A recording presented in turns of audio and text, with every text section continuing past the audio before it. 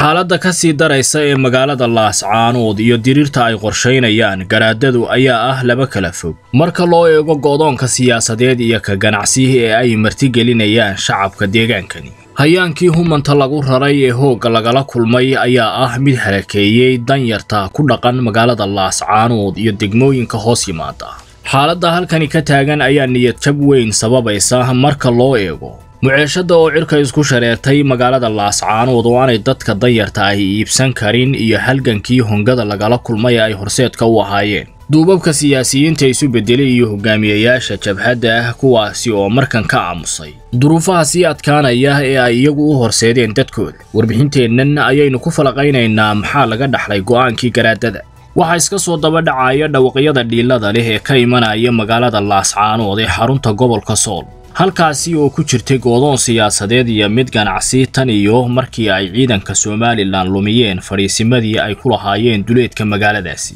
Iyo ka hor oo ay garaadadu go'aamiyeen in diriir ka dhan ah somalilan lala galo taasi oo u istaagay isu socodka isku xidha soomaaliya iyo somalilan. Magaaladani oo ahayd mid koboc dhaqaale samaynaysa markii ay somalilan gacanta ku haysay sida oo kalena la hindisay mar in laga sameeyo dekad qallalan ayaa maanta muceeshadu waxay maraysaa meelaanay deegaamada soomaalida weligeed gaadhin sida oo kale. Shacabka iyo danyarta oo lagu cadaadinayo inaanay arrintaasi ka hadlin amase soo bandhigin. Ayaa duulduulkooda uu soo gaadhayaa warbaahinta iyo baraha bulshada kuwaasi oo ka cabanaya. Nolosha ay cagaha la galeen ee adag taasi oo ay martigelinayso magaalada ay ku nool yihiin iyo deegaamada hoos yimaada. Dhawiqii ugu dambeeyey oo aan dheguhu jeclaysan ayaa ahaa shirkadda korontada oo ku dallacday dadka lacaga badan kuwaasi oo aan haysanin waxa ay cunaanba ayaa dadkan magaalada ka barakacay xataa intii ay ka maqnaayeen waxa ay shirkaddu ku soo dallacday lacaga dheeraada. Shakhsiyaad tiro yar marka laga reebo dadka danyarta ah oo awoodi waayey dhaqaalahaasi ayaana laydhka laga gooyey sida ilowareedyo hoose sheegayaan.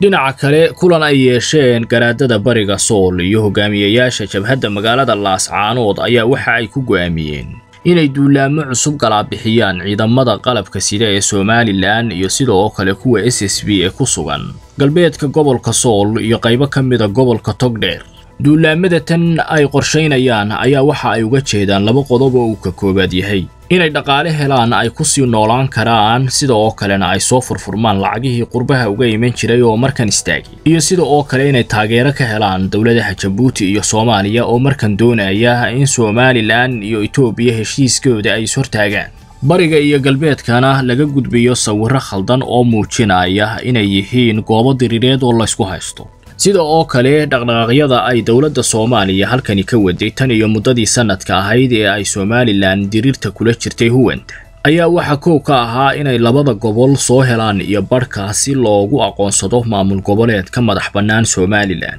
taasi oo ilaa iyo hadda aanay xulufadani ka mindidhigsanayn ayaanse go'aamadoodii hore laga dhaxlin wax guul ah februari labaatan labaatan iyo saddex oo ay garaadadu ku shirayeen magaalada laascaanood ayaana ay ku gaadheen go'aankan qallafsane sida weyn u saameeyey. Nolosha shacabka iyo ka deegaanka ay u arriminayeen xilligaasi inkasta oo wararka ay huwantu ka baahiso deegaamada laascaanood hoos yimaada iyo magaaladaasi inay tahay wakhtigii ugu wanaagsanayd ayay si xaqiiqadu sidaasi ka duwan tahay oo ay dadku la daaladhacayaan duruuf dhaqaale iyo mid nololeed oo daran hay'adaha oo halkani ka caagan iyo nabadgelyadeeda oo aan la ysku hallayn karin ayaana sii kaabaya. Inay shacabku markan wajahaan caqabado culus oo ay horseed u yihiin godoonka dhaqaalaha iyo ka ganacsiga ee ay ku jiraan. Siyaasiyiin dana gaara eegayey iyo duubabka oo taladoodu ay noqotay mid aan lagu raynin ayaana horseeday. Burburka magaalada laascaanood iyo baaba'a rajadii ay dadkaasi soo lahaayeen tobankii sannadood ee ugu dambaysay oo ahaa inay maamul madax bannaan noqdaan tanina waxa ay qayb ka tahay warbixinno isdaba jooga oo aynu ku falaqayn doono maxaa laga dhaxlay go'aankii garaadada sannad kadib